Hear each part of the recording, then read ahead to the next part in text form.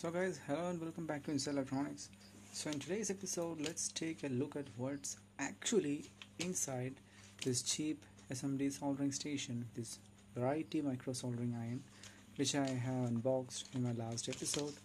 So that video just shows you the, my first impression about that. It was actually really bad, and I haven't yet turned this thing on because I just because if you have watched my previous video you can actually see that there were some components that is actually found to be misplaced inside the box itself. There are some washers lying around inside the box. So i thought it will be a good idea to check what's inside before plugging this thing in and letting everything go kaboom. So let's uh, actually take this thing apart and let's see how cheap this thing is inside so as you have as I have already shown this thing is actually every single screw on this thing is loose. You can actually turn uh, everything with just your fingernails. That's how loose everything is. Even the transformer was loose. And I know there's a transformer because I can I took a quick look through that. Let me show you that. If you look a quick look you can actually see some wires and see, see that coil? See that? So uh, that is this is a transformer based circuit. So the first thing uh, I haven't yet there's an off switch. This is the thing that you adjust your temperature with. And I, I had no hope in this how long this soldering pen is going to last because this is really cheap and even the wires feel so smooth and cheap and even everything is that that's how cheap it is so without further ado let's open this thing up. Let me first give you a okay that's fine. Because I need some space to work here. Some actually the screws. This is the first time I'm opening this thing. In fact I'm, this, I'm taking this video right after completing my first unboxing video.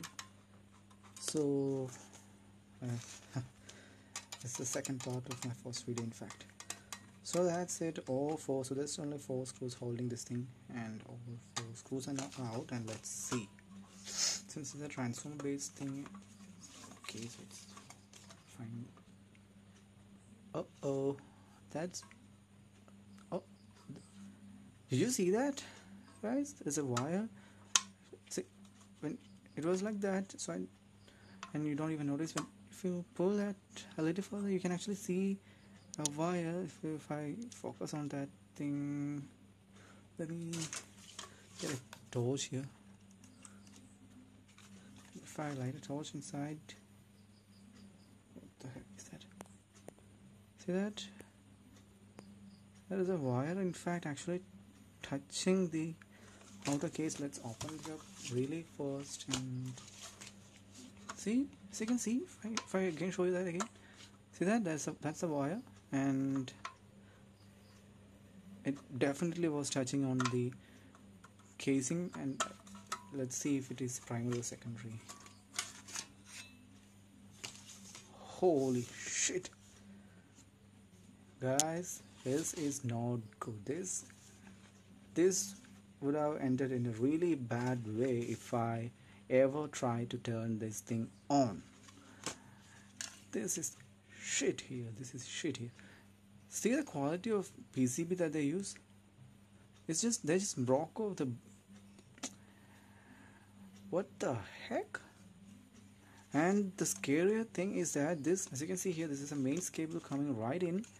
It goes one of that goes to switch and the other goes to the primary side and see that this was the red this is the red wire that we use.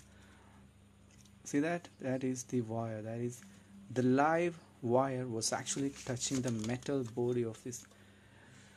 Holy shit. And just no just to mention to you that this has no earth whatsoever at all. So all that is between you and certain earth is this just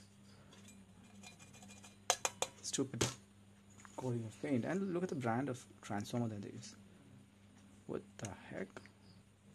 Oh crap and I'm so sure that this is not proper copper transformer. If you scrape away the copper coating you can actually see some silver kind of thing which is actually aluminum. So that's why these things are dirt cheap this is aluminum core transformer with copper coating on the coil this is dirt shit right here and let's see what are the other components so focus.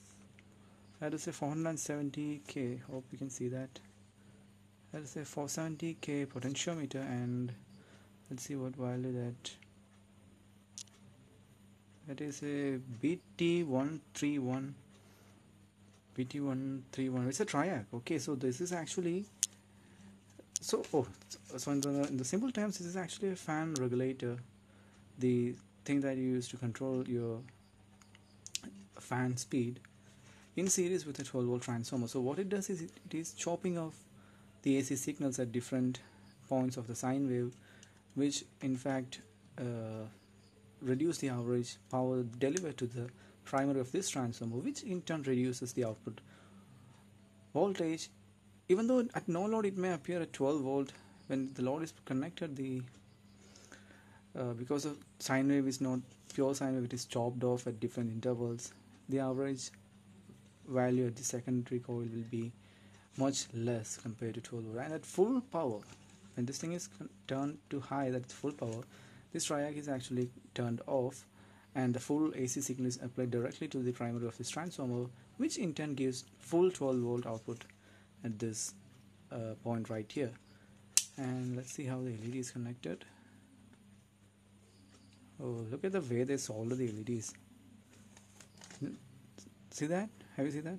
There's a 1k resistor in series with the LED and I will show you. It's a good way to see that. See that? It's just the LED terminals are just bent and connected straight at the output of the transformer. See let me show you that up close. See that? See the connection quality? And even see that? Did you see that there are even wires poking right out of the primary side. And that is actually touching the body of your whole thing. What the fuck is this thing? Holy shit I am so glad that I haven't turned on this thing for the, for the first time. Otherwise I would have reached heaven by this time. Holy shit. The only good thing that I can sell that I can say about this thing is that this is fully serviceable. As you can see here all it has is a transformer triac and some supporting components and pretty much nothing else. So every single thing inside is serviceable except the soldering pen and this is serviceable in a way that you know it is not economical by just buy another cheap uh, soldering pen. Who doesn't who does care about that so but the this thing this is actually this is actually rectifier circuit. It's actually rectifier with voltage variable uh, rectifier things. This thing is actually so every single thing inside is serviceable. That is the only good thing that I can say about this stupid variety micro soldering iron so if you're going to buy this please do not turn it on when you get it.